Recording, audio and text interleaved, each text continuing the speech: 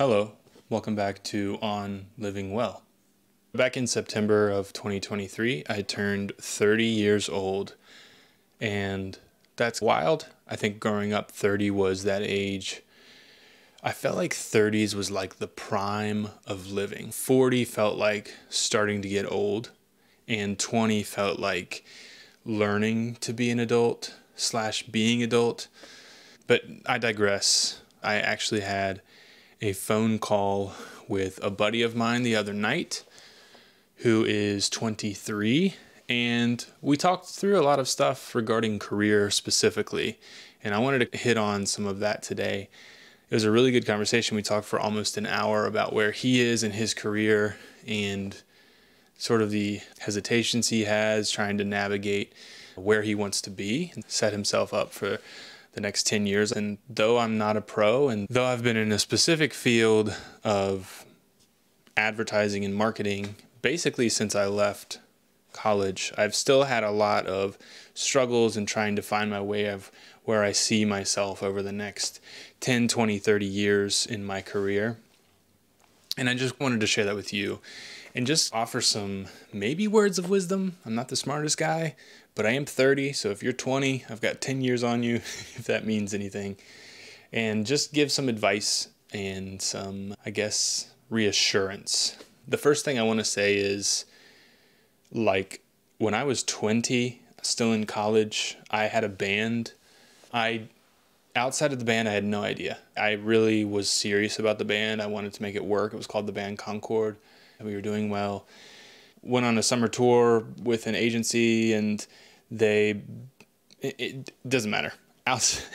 After we all graduated i had to get a job. I was in the communication field in college and that was literally because i heard it was easy. I didn't mind the curriculum and it allowed me to focus on the band. Luckily for me i was really enjoying marketing the band and learning how to use social media to do that and learning how to network and promote an album and speak to an audience both on stage but also through various marketing channels. I didn't realize I was doing marketing, but I was. And so luckily communication is a field that can go into marketing. A lot of times if you're applying to jobs in the marketing field, they'll say a degree in marketing or communications preferred. And so I got into marketing and I was really into photography, videography, building websites and wanting to do that for companies around town. Long story short, after a year at an executive search firm as a digital marketing manager, I started my own company, creating websites and doing videos and stuff, which then morphed into my own social media company with a partner that I pulled in. Uh, from there, we actually joined one of our clients full time. It was a local uh, healthcare startup called AgenaCare. It was where the doctor comes to you, like in the old days. And I worked there for a couple years. And I really found a love in owning my own business and working at AgenaCare for not only marketing and advertising, but building and structuring business, working through processes, working with teams, understanding each part of a business from marketing and advertising and sales to operations to financial and how that all works together. I fell in love with that. And so when I joined my current job, Leisure Media, I was pulled on to start the digital advertising department here at this agency.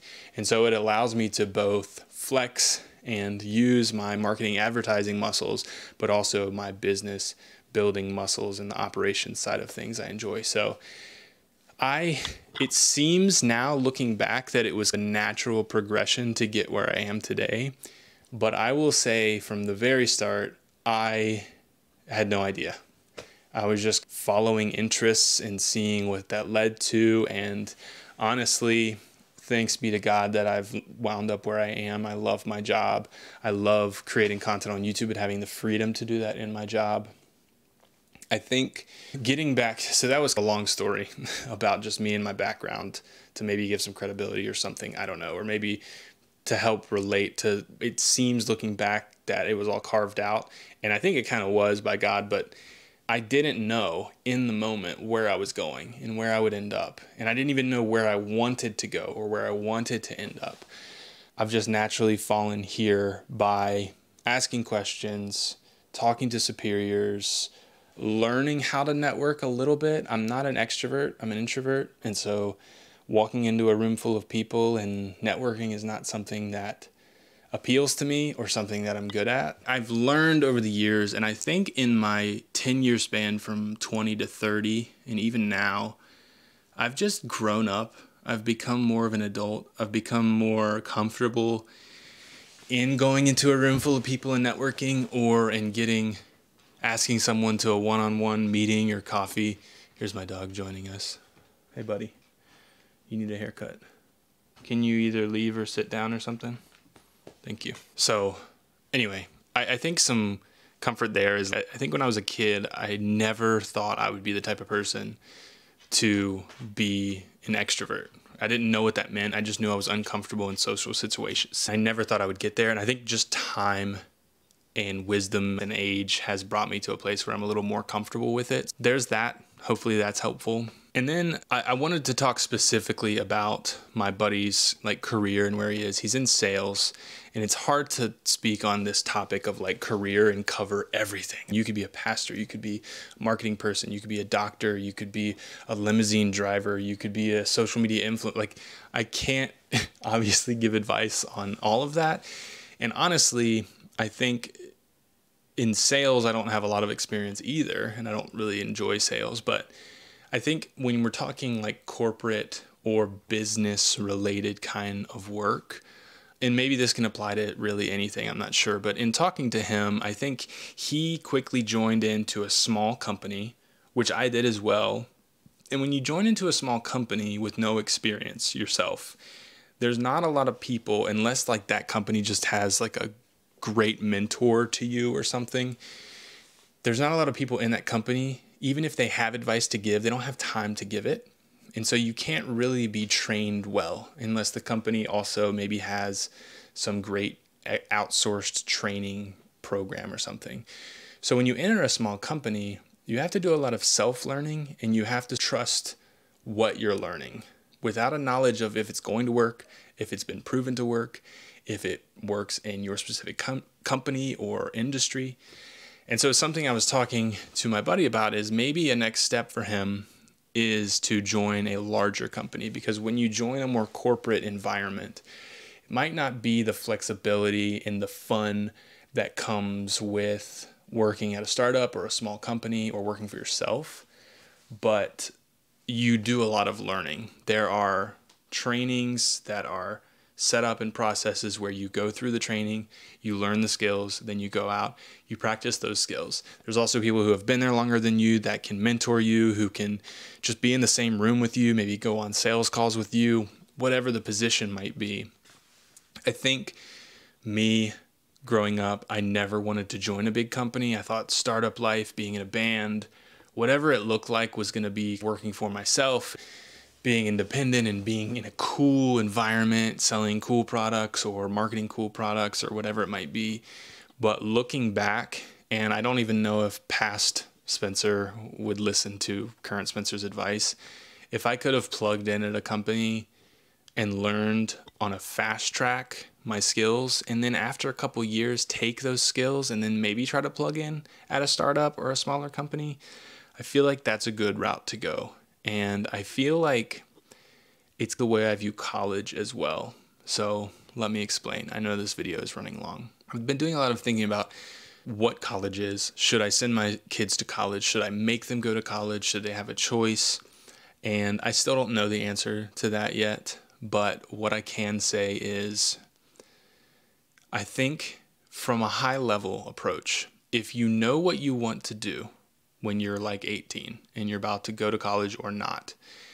And if college is going to help you do what you want to do, that's a good reason to go to college. If college is not going to help you do what you want to do, it's a good reason not to go to college, but you have to be like 100% sure. And that's the hard part.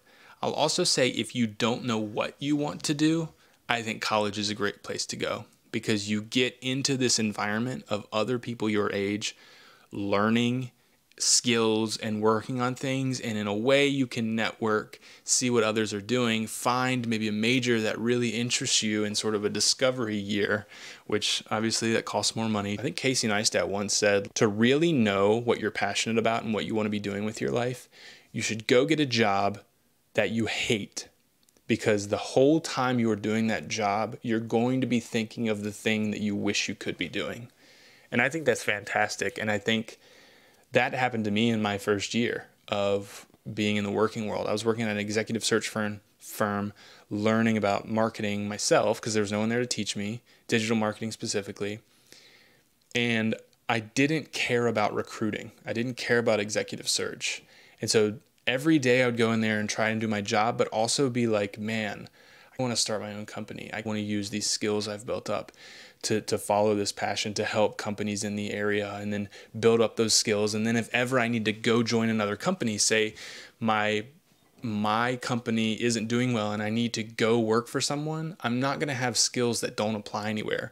I'll know how to work with clients. I'll know how to make great videos, make great websites, make great photography, how to implement those things on social media. Like I was self learning skills that I could, if I had to, go plug in at a company. And honestly, that's what happened. So, just some comfort is I feel like your 20s is a very explorative time, which may be very obvious to you. I'm not sure. But I got married when I was 23 and I had my first kid at 20. Is that right? Married at 23. 25? 2017 was five years ago. Yeah, married at 25. I can't do the math. You do the math for me. I got married and had a kid in my 20s. My daughter's three now, so I had her when I was 27. So throw family and a kid into the mix, it makes things really hard and the pressure's there. And we had my daughter when I was still working for myself. Like I had my own company, and that was scary. And I was leaning on my wife's teacher salary, honestly, to, to give us that stability and that expected income. I wouldn't change anything about the last 10 years of my life, sans some problems I had personally. But career wise, family wise, kids wise, it has been a fantastic life. And I know it doesn't shake up that way for everyone, of course, but it's been great. And I guess the long and short of it is if you're in your 20s, if you just turned 20, just learn. Don't be discouraged. Don't feel like you have to make $200,000 when you're 21 years old.